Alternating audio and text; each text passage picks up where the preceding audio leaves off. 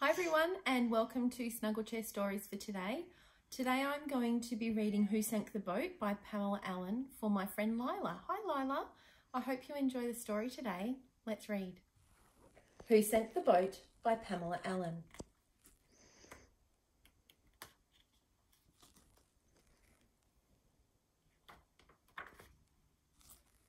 Beside the sea, on Mr. Peffer's place, there lived a cow, a donkey, a sheep, a pig, and a tiny little mouse. They were good friends, and one warm sunny morning, for no particular reason, they decided to go for a row in the bay.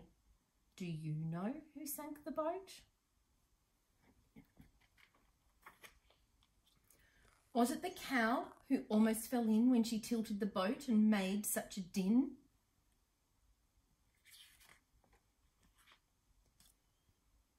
No, it wasn't the cow who almost fell in. Do you know who sank the boat?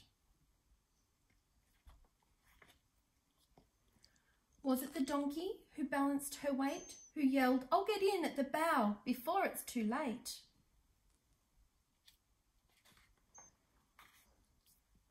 No, it wasn't the donkey who balanced her weight.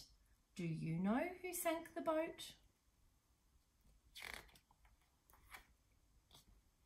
Was it the pig as fat as butter who stepped in at the side and caused a great flutter?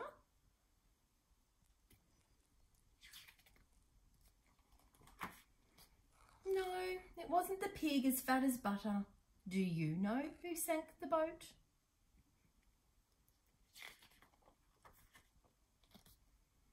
Was it the sheep who knew where to sit to level the boat so that she could knit?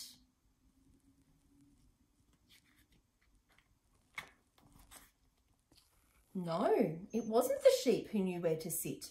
Do you know who sank the boat?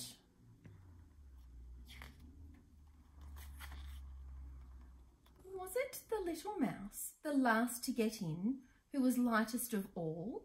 Could it be him?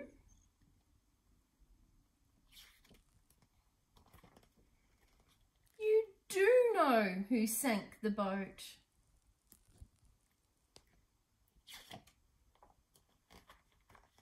And there they all go back home, a little bit wet. I hope you enjoyed the story today. I'll see you all another time. Bye for now.